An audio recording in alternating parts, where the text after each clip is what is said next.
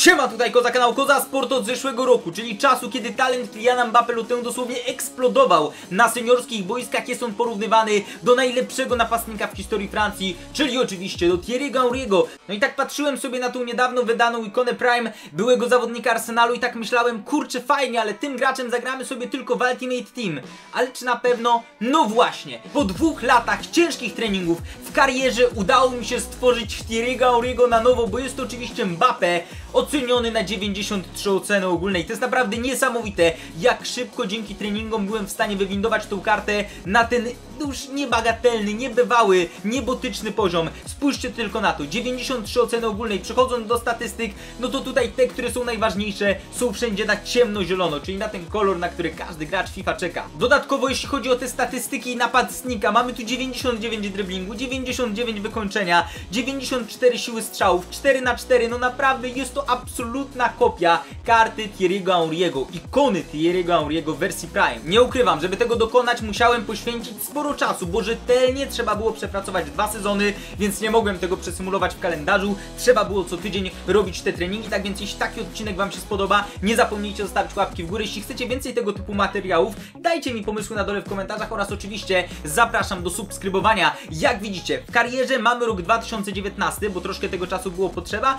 Prowadzę sobie tutaj PSG, dlatego że jest klubem piekielnie bogatym i mogę się tutaj pobawić. Dlatego też mamy taką jedenastkę, którą zaraz zagramy przeciwko Wielkiej Barcelonie. Niestety w naszym składzie nie wystąpi Neymar, który jest obecnie powołany, ale mamy tutaj chociażby Lukasa, który na kadry się nie załapał. Ściągnąłem tutaj także N'Golo Kante, który fantastycznie wkomponował się do tego zespołu. Jest także Mesut Ezil, który przyszedł tutaj na kontrakcie z Arsenalu. Bardzo dobry deal. No i przede wszystkim dziś na bramce też zagra Artur Boruc. Potrzebowałem jakiegokolwiek rezerwowego bramkarza. Stwierdziłem, że weźmiemy Boruca do Paryża, żeby sobie tutaj chłopak odpoczywał na naprawdę fajnej pensji. Siedzi, patrzy jak gra Donnarumma, podpowiadam troszeczkę jak jeszcze lepiej ustawiać się między słupkami, no i już cieszy się w zasadzie zakończeniem swojej kariery. No i też tak niech skromnie wam się pochwalę, że w tym PSG idzie mi naprawdę świetnie. Jak widzicie ocena menadżera na 92 świeci się na zielono, że aż oczy bolą. To wszystko dlatego, że dwukrotnie zdobyłem Mistrzostwo Francji, dodatkowo w zeszłym sezonie wreszcie PSG sięgnęło po e, Ligę Mistrzów.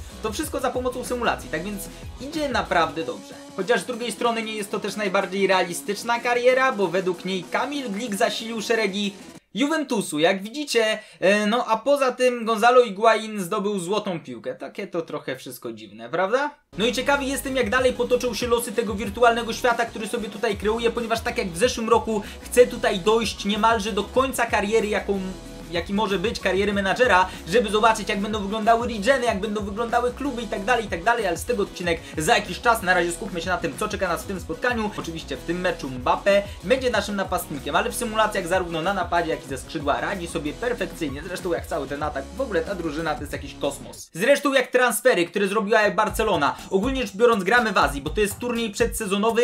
Niewiele brakowało, żebym do tego odcinka mógł zagrać dla Was finał Ligi Mistrzów, który grałem z Napoli. Niestety dosłownie dwóch sesji treningowych brakowało wtedy Mbappé do wbicia 93. Żałuję, bo to by było dopiero starcie, ale z Barceloną przed sezonem też nie będzie źle. I to jest rzut karny? Rafael Varan rzekomo faulował, ale ja nic nie kliknąłem, dlatego też nawet nic nie mówiłem w tej sytuacji, bo byłem święcie przekonany, że, że mój zawodnik po prostu no, nic tam nie zrobi. No, rzeczywiście wywalił Harry'ego Kane'a, ale obiecuję wam, że ja tutaj, no, nie, nie mieszałem w nie maczałem w tych palców, to dosłownie, bo nie dotknąłem żadnego przycisku. No i teraz Artur Boruc kontra Harry Kane. Zobaczmy, czy Polak będzie w stanie tutaj wyjąć tą piłkę. Harry Kane będzie w lewo.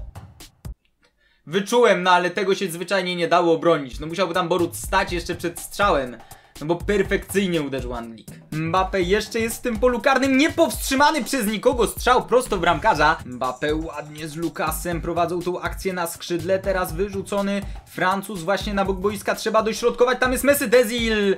No ale on nie jest najlepszym graczem do tego, żeby, żeby wykończyć głową. Co prawda zdarza mu się to, ale sami wiecie, że jednak on jest od tego, żeby, żeby, żeby wrzucać piłki, a nie żeby je otrzymywać. Verratti świetnie wywalczył tą piłkę. Ezil do Rashforda, Rashford widzi tam Lukasa, dobrze, jednak przejdzie ta piłka, już bałem się, że nie da rady y, do tego dojść Brazylijczyk, Lukas, Lukas, Lukas szuka podania do Mbappé, jest Kylian Mbappé Lotę i to jest jeden do jednego, znakomite ustawienie się w polu karnym, ale przede wszystkim fantastyczna wrzutka, no bo to ustawiło całą sytuację i też to podanie do Lukasa. No ogólnie cały zespół zrobił swoje, cieszy się nasz Mbappé slash Henry. No i cieszę się ja.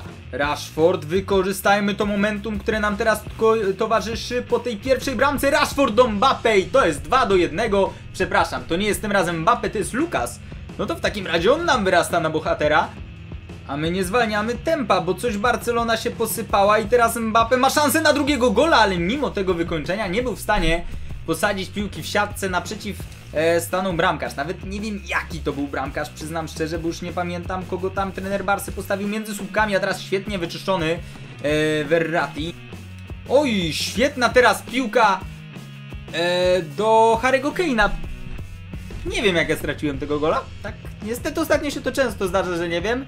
Przyznam, że no i niestety, pierwsza połowa kończy się wynikiem 2 do 2, a może i stety, bo są emocje. No i zobaczymy, jak uda nam się tutaj e, zagrać w drugiej odsłonie tego spotkania. E, powiem też, że pierwszy raz gram tym składem, w ogóle pierwszy raz w tej karierze gram jakikolwiek mecz i muszę przyznać, że w ogóle ta jedenastka, którą tutaj złożyłem, no, no jest przyzwoita, gra się tym naprawdę dobrze. Podoba mi się współpraca w środku pola Verratti Kante, bo e, naprawdę chłopaki w odbiorze są świetni.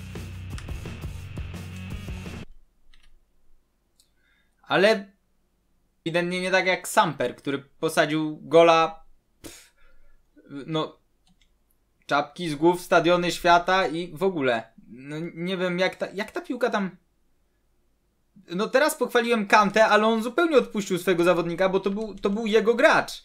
Aj, no ja nie powinienem chwalić graczy, bo zawsze jak powiem, że ktoś gra dobrze, to potem akurat robi takie rzeczy jak teraz Ngolo, bo to ewidentnie był jego zawodnik, aczkolwiek słuchajcie, są też wakacje w karierze i oni nie grają na 100%, trzeba mieć tego świadomość, ale fajnie by było coś tutaj jeszcze jeszcze strzelić, żeby chociaż tego meczu nie przegrać. Ładna piłka do Mesyta Ezila, wbieża w pole karne, uderza z lepszej lewej nogi i myli się straszliwie teraz Niemiec, bo ta piłka nie poleciała nawet w światło bramki. Robię zmiany, słuchajcie, wchodzą zawodnicy yy, rezerwowi, no bo takich zabrałem na ten turniej. Ja bardzo żałuję tylko, że nie ma Neymara, ale z drugiej strony tak sobie pomyślałem, że mamy mecz pokazowy z Barceloną, to czemu nie pokazać wam właśnie tego Mbappé, yy, przywołać troszkę takiej wakacyjnej atmosfery też, no bo to co się dzieje za oknem sprawia, że chcemy sobie przypomnieć jak to jest, kiedy w sierpniu zespoły, czy w lipcu grają o pietruszkę jeszcze, a my sami potem idziemy na Orlik i, i narzekamy, że jest za gorąco, a nie, że pada śnieg z deszczem.